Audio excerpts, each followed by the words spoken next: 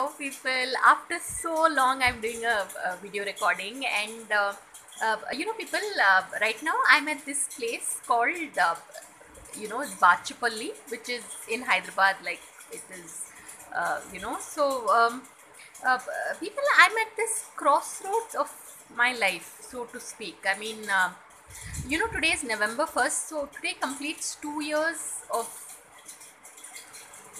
of me living alone yeah i'm admitting that on camera. Like uh, you know generally it's and it's it's a beautiful experience. Everybody should should go uh, you know experience just staying by themselves and all of that. So um so uh, basically now uh, so that's what i'm just wondering whether like i'm very uh, like i like the idea of doing these youtube videos. So if i were to take up like a full-time job like you know since so it will leave me with no time for uh, doing my youtube videos and my ebook writing.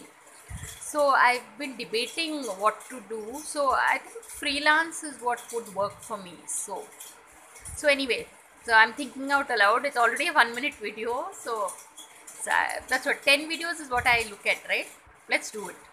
So on that note thanks for watching people and please subscribe